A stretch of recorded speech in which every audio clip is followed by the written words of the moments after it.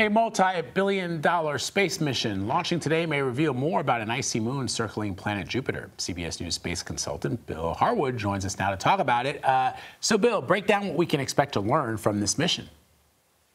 Well, first of all, it's going to take a long time to learn it. It's going to take five and a half to six years for the Europa Clipper just to get there. Uh, but but the scientific payoff is is pretty dramatic. They know there is an ocean under the frozen crust of this moon Europa.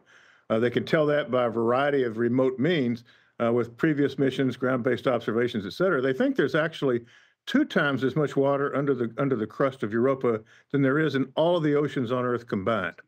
Uh, they're hoping to find out with this mission is that environment habitable. In other words, are the conditions there that could enable microbial life, perhaps, to have formed and even be there today? Uh, this mission is not searching for life specifically. They're really focused on the habitability of the moon uh, but depending on what they find, that could set the stage for future missions to go uh, really take a really close look at it. So, Bill, uh, SpaceX says it's the farthest mission for one of its spacecrafts. How long ultimately is this voyage going to be? Well, it's 1.8 billion miles to get there. You know, Jupiter is only about 500 million miles from Earth, but they have to take a roundabout path. They're going to go by Mars in March, get a gravity boost from Mars gravity. Uh, they'll come back to Earth in 2026, December, get another gravity assist flyby, and then they'll head out to Jupiter. So it's going to take five and a half to six years just to get there. And then the mission's going to last probably three years. They're going to do 49 close flybys of, of uh, Europa, this moon. And it's it's load the probe is loaded with high tech instruments to study this thing. Uh, it's going to be fascinating. It's just it's like I said at the start. It's just going to take us a while to get the information.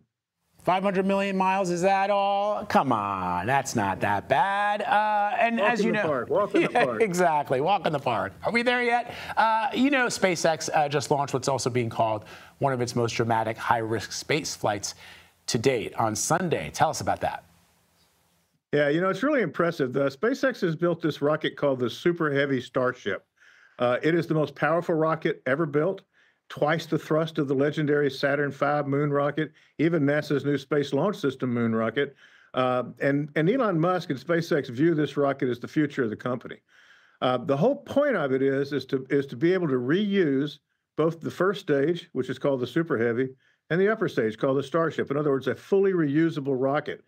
And to do that with this gigantic first stage, which we're looking at here, the engines on the bottom, uh, they want to catch it. They want to fly it back to the launch site. And instead of deploying landing gear and touching down on a pad, they're literally going to go right back to the launch pad gantry. And, and these two giant mechanical arms come in and catch the rocket as it's coming down.